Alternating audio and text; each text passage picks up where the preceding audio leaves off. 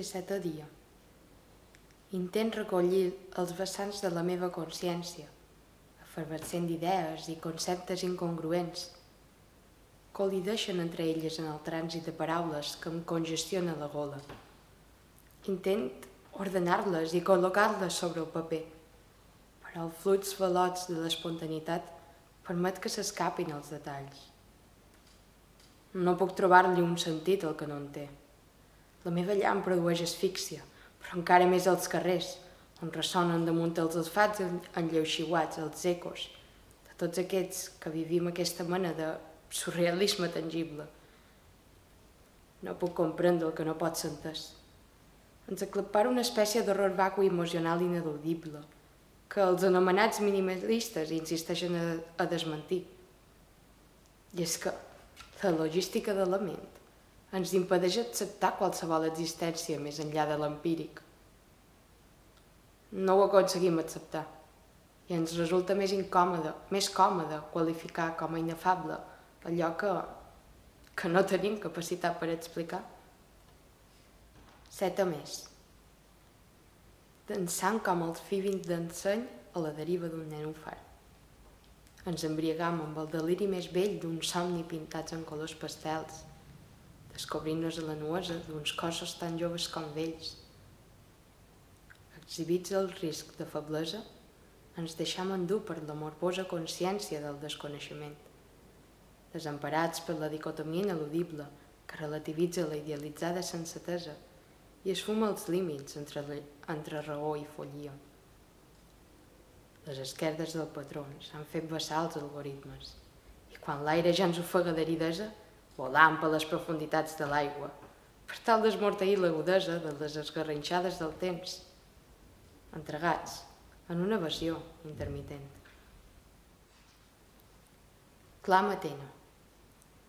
Avui s'han enfonsat a la immensa mala de la memòria, ajut passats que en son temps foren glòria i traçaren el rumb de nostra història.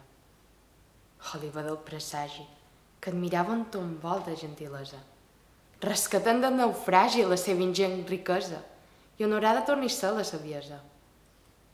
Venerada Atena, ja no es planteja la qüestió mèrica i sepultada en l'arena han quedat a la d'èpica, la lírica i els inicis de l'ètica.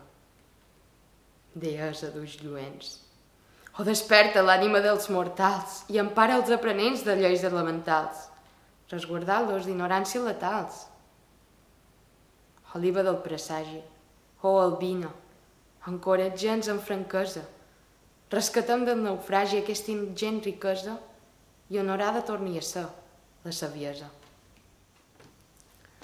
Ulls de melicotó, la meva germana. Que romangui sempre l'espurna del teu esguard d'il·lusions, lluents com cristalls de sucre, dolços ulls de melicotó. Desig glaçar la bellesa i aconseguir-ne el candor d'un somriure amb franquesa, irradiador de molts colors. Desig glaçat a infantesa, preservar-ne el tresor i la dolça tendresa d'un infant somiador. Que romangui sempre l'espurna dels teus ulls de melicotó. Mama,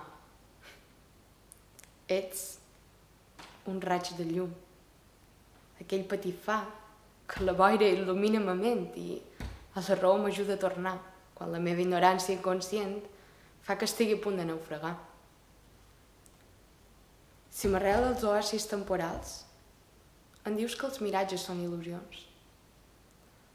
Em parles de, de l'existència d'un mar quan l'arena que cobreix l'horitzó no, no em deixa veure el que hi ha més enllà.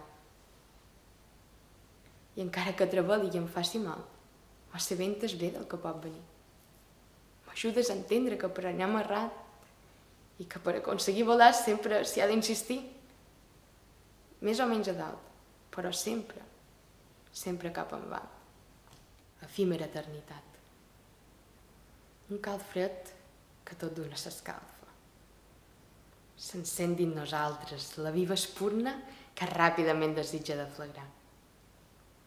Un intens manifest que no es calma, que de vegades intentant domar, esclaus d'una repressió absurda.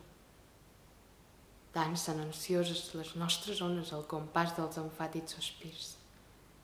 En la foscor, descobrint-ne les formes, l'inconscient ens convida al misteri i anhelosos de festa s'obrin els camins. De dues flames a un sol incendi. Les rialles atònites expressen el goig dels coets d'aquesta festa i fruïm el joiós apogeu de la glòria amb incontinents crits d'esplèndida llibertat. Meravellats els dos alhora, a la màxima follia hem arribat, extasiats per l'estupor del moment, màgic moment d'efímera eternitat. Confosa primavera.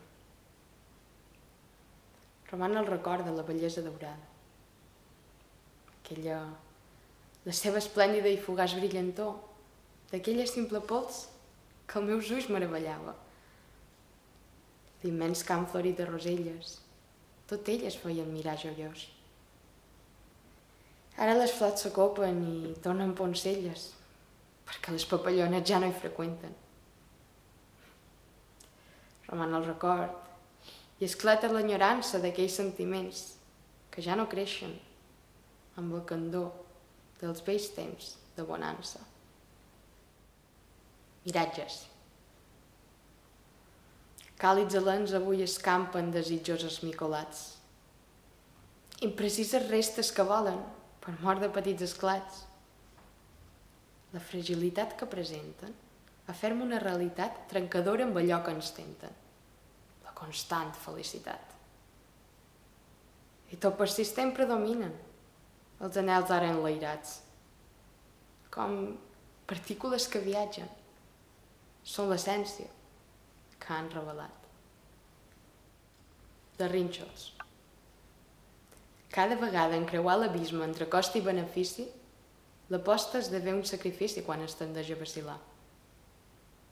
L'ambigüitat n'es fa el refugi, de palla n'esdevé la fortalesa, i contra la contundent fermesa no hi ha força que en defugi. Vacila com un adolescent, rumiant sola en la indecisió de sa complexa condició, que n'és en excés conscient. Ja és persona adulta, però indefensa com infant, amb freqüència roman pensant en la constant reflexió i dubte. Ja no vol ser més l'estrus que només guaita si fa sol, o quan l'apel·len pel seu nom, fugint de tot estar confús. Però per tendència analítica es protegeix dins l'espiral, la seva ànima visceral en una metacognició cíclica. Veritatis. Voldria embriagar-me del teu esguard dionisíac que desperta la meva ànima felina. Voldria alimentar el flameig dels ulls provocant el desglàs d'aquest bloc invisible que no ens atrevim a trencar. Retenim l'infinit entre els pits, a la guai d'una fantasia tangible, i covejant el tast del rosat d'un llavis temptadors, preferim seguir amb la dilatació de qui bé vol procurar la qualitat d'un gran reserva.